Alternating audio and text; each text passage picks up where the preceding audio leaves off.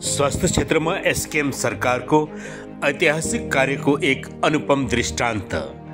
नाम्ची जिल्ला अस्पतालमा इएनटी शल्यक्रियाको सुरुवात जनसाधारणको स्वास्थ्यप्रति गम्भीर रहनुहुने सम्माननीय मुख्यमन्त्री महोदय श्रीमान प्रेमसिंह तामाङज्यूको अथक परिश्रमकै कारण सिक्किमे आम जनताले स्वास्थ्य क्षेत्रमा उत्कृष्ट सुविधा प्राप्त गरिरहेका छन्।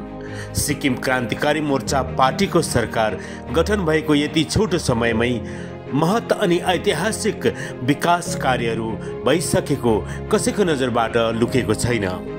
एसकेएम सरकार सत्तामा आएको समयदेखि नै स्वास्थ्य क्षेत्रमाथि गम्भीर बनेर काम गर्दै आइरहेको छ। स्वास्थ्य क्षेत्रको विकासीय कार्यहरूबारे कुरा गर्नुपर्दा भर्खरै नाम्ची जिल्ला अस्पतालमा इएनटी शल्यक्रिया सुरु गरेर एसकेएम सरकारले ठुलो उपलब्धि हासिल गरेको छ भने सिक्किमेली जनताको निम्ति एउटा बहुमूल्य उपहार बन्न पुगेको छ। नाम्ची जिल्ला अस्पतालमा इएनटी सर्जनहरू डाक्टर छिरिङ शेर्पा डाक्टर मोहन अनि डाक्टर रुबेनको तिन सदस्यीय टोलीद्वारा बिरामीहरूको शल्यक्रिया सुरु गरिएको छ जो सिक्किमेली इतिहासमै पहिलो पटक भएको हो। विशेष गरी पश्चिम अनि दक्षिण जिल्लाका नागरिकहरूलाई अब उसो आफ्नै जिल्ला अस्पतालमा यस प्रकारको सुविधाको लाभ उठाउन सहज हुनेछ जसबाट उपचारका निम्ति राज्य बाहिर जाँदा हुने खर्च अनि समयको पनि बचत हुनेछ। इएनटी शल्यक्रियाको लागि राज्य बाहिर गएर उपचार गराउनु पर्दा लाखौँ रुपियाँ खर्च गर्नुपर्ने हुन्थ्यो। अब यसरी आम जनताको धेरै खर्च बाँच्नेछ यो सिक्किमे जनताका लागि एसकेएम सरकारले गरेको कल्याण हो भन्दा केही फरक पर्दैन।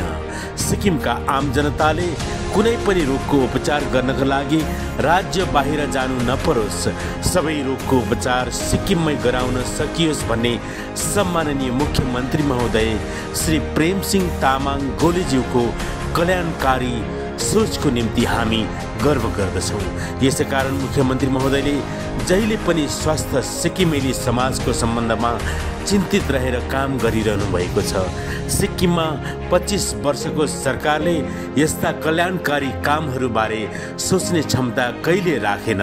वर्तमान एसकेएम पार्टी सरकारमा आउनुभन्दा पहिला राज्यको कुनै पनि अस्पतालमा स्वास्थ्य विशेषज्ञहरूको कमी पुरा गरिएको थिएन। अर्थात् कुनै अस्पतालमा स्वास्थ्य विशेषज्ञ थिएनन्।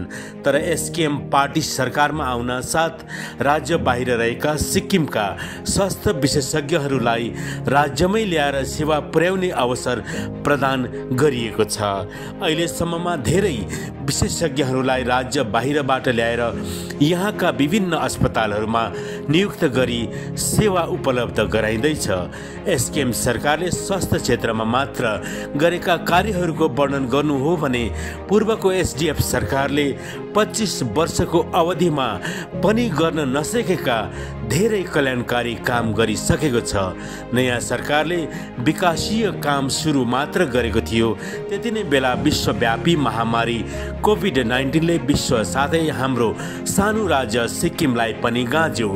कोभिड नाइन्टिनलाई नियन्त्रण गर्न केन्द्र सरकारको दिशानिर्देश अनुसार राज्यमा लकडाउन गर्नुपर्ने अवस्था आयो।